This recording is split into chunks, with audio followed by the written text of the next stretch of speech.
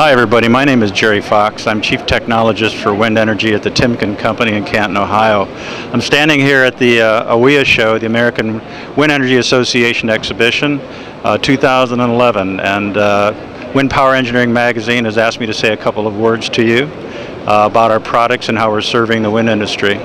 I guess I'd like to start out by simply saying that this in, this particular exhibition, probably in my in my view, is one of the very best that I've witnessed. Uh, simply because there's so many exhibitors here, it's very international in nature, and there's so many exhibitors here uh, exhibiting their wares and, and trying to uh, show the industry how uh, to improve their wind turbine technology.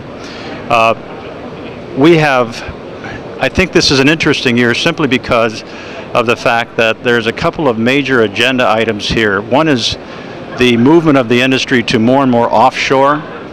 And as the industry moves to more and more offshore, the requirements for much larger, much larger uh, wind turbines, fewer of them actually on the wind farm, being planted offshore in the middle of the ocean, is probably driving the technology to a greater degree than anything else. I see blade technology, I see generator technology uh, taking the forefront of this development. But as all of these developments take place and we're trying to serve more and more companies, I would have to say that the Timken company, our company, and its products will serve the niche pretty well. What I'd like to do is show you a couple of those products and, show and demonstrate to you how they can work. Uh, behind me here is what we call our TNA bearing or a TDO bearing, sometimes it's referred to. This is a large diameter bearing. It's 1.87 meters in diameter. It weighs approximately 5,500 pounds. This bearing is designed for a 2, me 2 megawatt system it's a direct drive system, as a matter of fact, and it's manufactured from case carburized uh, raceways. It has uh, a steel cage, and many enhanced features, including an integrated lubrication system and an integrated sealing system as well. Uh, many of our many of the people who are manufacturing offshore turbines, uh, direct drive turbines in particular, are coming to Timken to uh, determine whether or not we can manufacture a bearing of this size and type for them in their advanced systems. So when we're talking about large offshore machinery, I'm talking about three, four, five, and even 10 megawatt systems. So these are gigantic tur wind turbines, and they require high performance bearings that are going to survive the 20 or 30 year life cycle of the turbine. Timken really specializes in two areas when it comes to serving the industry with uh, with its products: uh, steel and uh, and and uh, bearings itself. We actually manufacture high performance alloy steel, and we also manufacture high performance bearings. I just finished talking to you about the main shaft positions.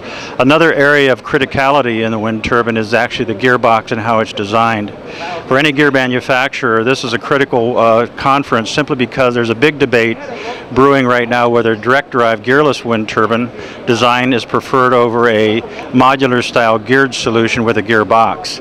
Uh, the gearbox industry has made significant advancements in its, in its attempt to improve the reliability of the wind turbine gearboxes. And one of the major, major efforts, uh, or I should say initiatives that they've taken, is to convert to different types of bearings, which happen to be Timken uh, tapered roller bearing solutions and tapered cylindrical roller bearing solutions. And behind you are an array of our products, starting from Planet Pacs to uh, tapered roller bearings for supporting planetary positions, to an array of bearings which are supporting the parallel shafting in the back of the gearbox. And perhaps one of the keynote issues here, or one of the, the highlights that I would like to talk about, is the engineered surface that's on the on the exterior of the of the cylindrical roller bearing. This engineered surface is a is a special uh, surface treatment that Timken applies to eliminate one of the primary failure modes in the gearbox itself, which is micro-pitting and peeling. So with this technology, coupled with the other types of products that we offer here, we believe that the gearbox industry has a healthy future in the wind turbine industry.